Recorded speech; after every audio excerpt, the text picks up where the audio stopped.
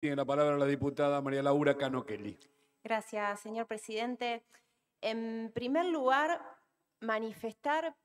mi repudio a algunos de los diputados preopinantes que parecen muy, muy, muy preocupados y afectados por la literatura que se da en algunas escuelas en la provincia de Buenos Aires, no así por el contenido sexual explícito que todos los días, todas las mañanas vemos que tuitea el presidente Javier Milei. Están muy preocupados por, por, por, la literatura que, que, se, que se divulga, pero no así por la situación de las niñeces y adolescencias en nuestro país. No parece escandalizar a estos diputados, por ejemplo, la formulación de nenes encadenados bañados en vaselina como una de las tantas mociones que Javier Milei ha hecho en redes sociales, en diferentes manifestaciones en la prensa. Bueno, una vergüenza total. No le causa ningún escándalo a los diputados preopinantes que la situación de las niñeces y adolescencias sea la que soy,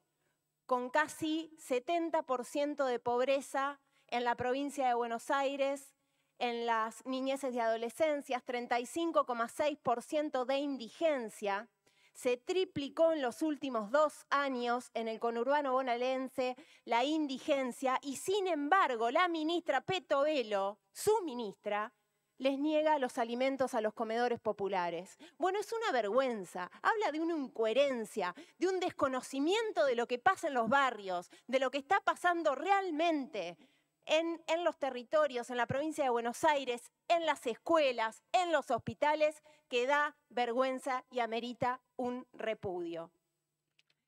Señor presidente, hoy sin duda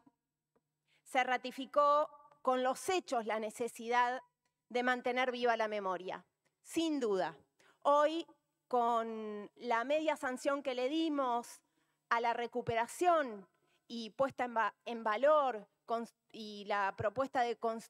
construir, constituir allí un sitio de la memoria en lo que fue la casa de Rodolfo Walsh es sin duda un acto de justicia y quiero agradecer explícitamente a todos los diputados que, han trabajado para ello. Me consta, eh, tanto desde el primer momento, bueno, Noelia Saavedra, Facundo Tinianelli, no me quiero olvidar de nadie, Diego, Diego García Arena, Gustavo Pulti, Susana González, todos ellos desde el momento en que les manifestamos la necesidad de que esto se trate, porque perdía estado parlamentario y era una necesidad urgente este tratamiento, se pusieron a trabajar para que tenga, para que tenga un pronto despacho y, y hoy nos vamos con esta buena noticia tanto para la familia de Patricia Walsh como para todo el conjunto de quienes defendemos los derechos humanos de ayer y de hoy, de quienes defendemos la lucha también por los derechos de los trabajadores y quienes nos oponemos a las aberraciones que está cometiendo este gobierno y sobre todo al plan económico que tuvo continuidad entre la dictadura y el día de hoy.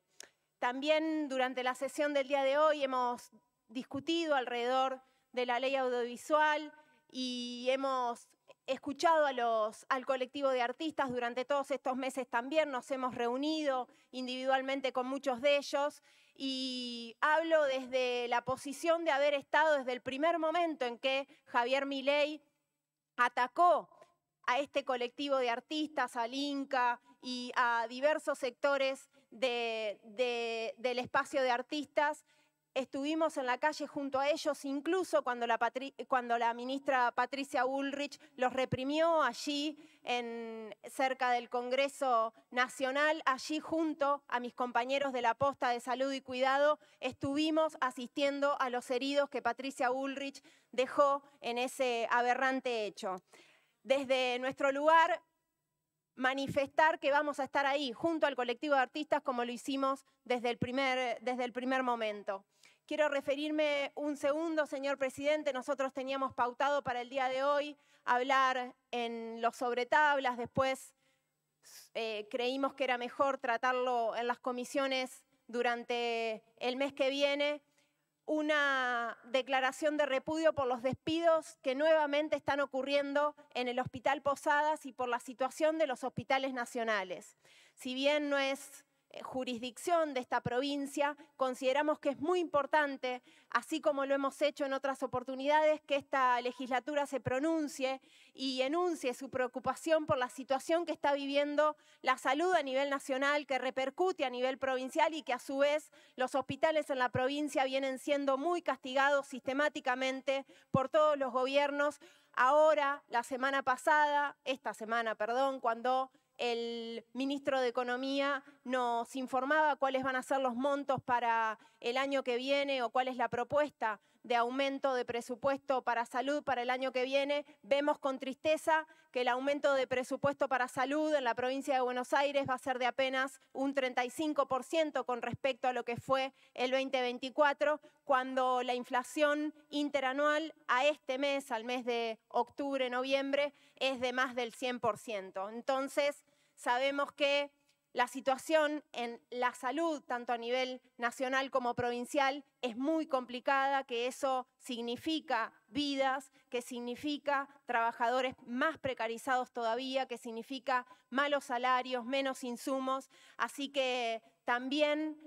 pedirles, solicitarles que durante el próximo mes, cuando llevemos a las comisiones la necesidad de que esta legislatura apoye la lucha de los trabajadores del Hospital Posadas, la podamos acompañar desde acá. Es muy importante que la legislatura se pronuncie frente a eso. Además, venimos manifestando también la necesidad desde varios bloques también la necesidad de que se trate el proyecto de acompañantes terapéuticos. Es un proyecto que venimos impulsando junto a otras diputadas en varias comisiones, lo hemos, hemos tenido un despacho eh, eh, de, mayoría y, que lo hemos construido en consenso con otros diputados desde la Comisión de Salud y consideramos urgente su, tratamiento en la próxima sesión. Son más de 14.000 los acompañantes, las acompañantes, mayoría mujeres, jefas de hogar,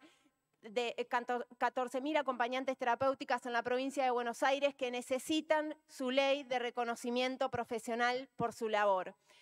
Señor presidente, por supuesto que desde nuestra banca no consideramos que la legislatura pueda solucionar los problemas de la clase trabajadora. Consideramos que es la lucha, que es la calle, que es la coordinación, que es la unidad por abajo, que son las asambleas, pero sí consideramos que estos, nuestras bancas, son un puesto de lucha, un puesto desde donde denunciar las condiciones en las que hoy vive la clase trabajadora y desde donde denunciar también las tremendas calumnias que se están llevando adelante, los tremendos hechos que desde el gobierno nacional y desde los distintos gobiernos están llevando adelante y cómo le meten la mano en el bolsillo a los trabajadores, a los jubilados, a las jubiladas y además cuando salen a protestar, cuando salen a defender sus derechos los reprimen. Por eso, señor presidente, para terminar, simplemente decir una vez más que la lucha es en las calles, es junto a las y los trabajadores, junto al movimiento de mujeres, a la docencia, a los trabajadores de la salud, a los jubilados y jubiladas, y allí estaremos como lo hemos estado siempre desde la banca del Frente de Izquierda. Muchas gracias. Muchas gracias, diputada. Tiene la palabra el diputado Guillermo